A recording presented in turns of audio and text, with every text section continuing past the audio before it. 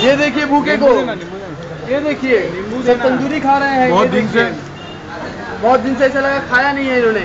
ये देखिए। रोज खाते रोज खाते हैं ये देखिए कितना सुअर जैसा खा रहे हैं।